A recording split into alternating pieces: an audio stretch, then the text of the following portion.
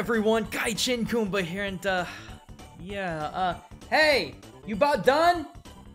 I need more freaking bows! Yeah, sorry guys, uh, with the holiday season right around the corner, we've been trying to get a lot of stuff done, and with Con Delete being last week in Chicago, trying to get the next video, it's been really nuts. But there is something I gotta talk about when it comes to Breath of the Wild's newest DLC, Ballad of the Champions. I absolutely cannot let this one slip away. And you know, I really don't know whether I classified as a standard Game Exchange video or a Witch Ninja video. Uh, Witch Exchange, Game Ninja, whatever. Breath of the Wild, Ballad of the Dirt Bike. Aki and I streamed a large part of this DLC over on my Twitch, which led to some mind-melting moments like this. Oh. Wait! Are you serious?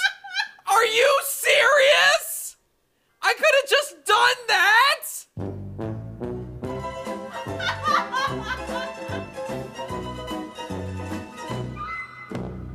Right from the get-go, all the way through to the end, there was about half a dozen things that set off my cultural analysis alone. One thing though, there's gonna be massive spoilers for this DLC, so if you haven't played it yet, you've been warned.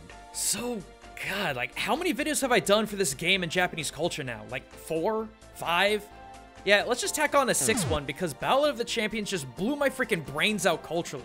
And it all started at the very beginning.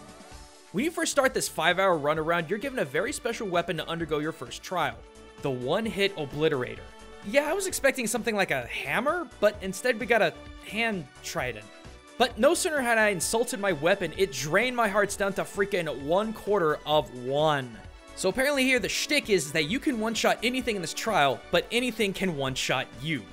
Granted, I was pretty shook from how extreme this game had gotten, but I was even more shook at the Obliterator itself, because one look at this thing and I was like, Shide. Okay, see those four little strips of zigzaggy paper? I bet you've seen those before, especially if you're familiar with Shinto. These strips are what are known as shide, or vertical papers, and they're common use symbols of purification.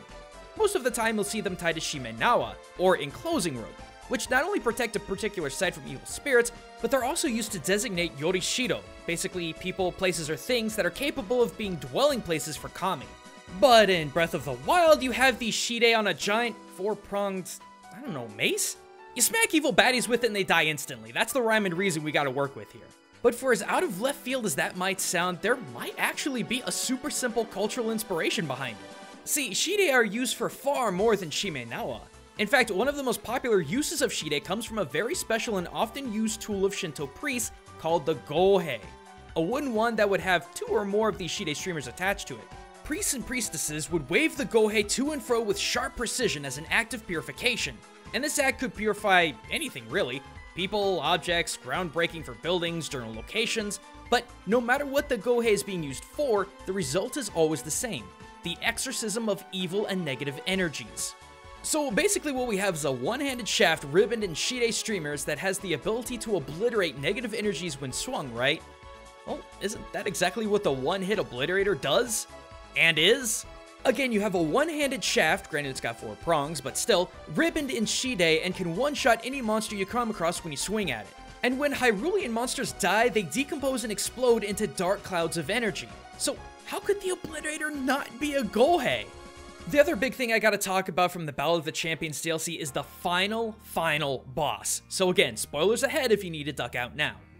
When you finally wrap up the Clockwork Nightmare that's the new dungeon, you're not greeted by a giant monster or another perversion of Ganon Blight, but instead another one of the Sheikah monks.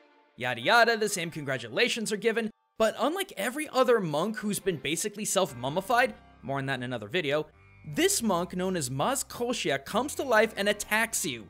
How you may ask? Like a freaking ninja! This guy is a complete amalgamation of every ninja trick we've seen between the Yiga clan and the Sheikah clan, further illustrating how the two used to be one and the same 100 years ago. This shinobi monk pulls out an ancient blade backwards and just goes to town on you, teleporting, charging, and swinging and shadow stabbing just like the Yiga. But that's not all, cause he also has Thunderblight Ganon super speed attacks, cause you know, that's fun. He also utilizes that speed to just straight up dodge attacks too. Ryu Hayabusa be damned, this 100 year old mummy is the biggest shinobi badass in gaming. Now granted, I've already made mention in two other videos how both the Yiga and the Sheikah clans utilize actual ninja culture and techniques, but Maz Koshia takes that one step further. According to this fight, a cutscene drops as you watch Maz hover back in the air. I'm thinking, alright, phase 2. Then he Bushin no Jutsu'd me! Okay, okay, okay. To clarify, the Bushin no Jutsu, for those of you who don't regularly watch Witch Ninja, is an actual real-life technique that fools the ninja's target into thinking that there's more than one of them. This is done so either by moving so fast it looks like there's more than one ninja, or the ninja is joined by others wearing the exact same clothing, thus duping their enemy into thinking they're multiple of the same person. In this case, it seems obvious that Maz is creating mirrored images of himself, but considering how fast he moves and how disoriented I was trying to fight him, his speed alone was already giving me enough trouble trying to figure out who the real boss actually was. Finally, in the third phase, Maz brings his hands together and grows to a massive size, wherein he just stomps the crap out of Link.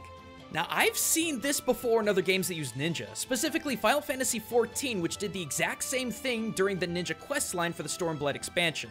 In fact, any fan of Naruto will recognize this technique right away, the Baika no Jutsu, or double conversion technique. Basically, the ninja uses their ki to rapidly expand their bodies becoming huge for a limited amount of time. I scoured, guys. I scoured like crazy trying to find a real-life equivalent to this technique.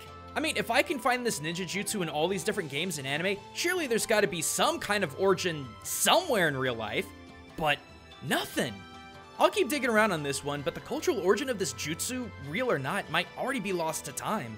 But there was one theme I noticed while fighting Maz Koshia, and that's every single time he did something supernatural or changed phases, he brought his hands together in a very, very specific way.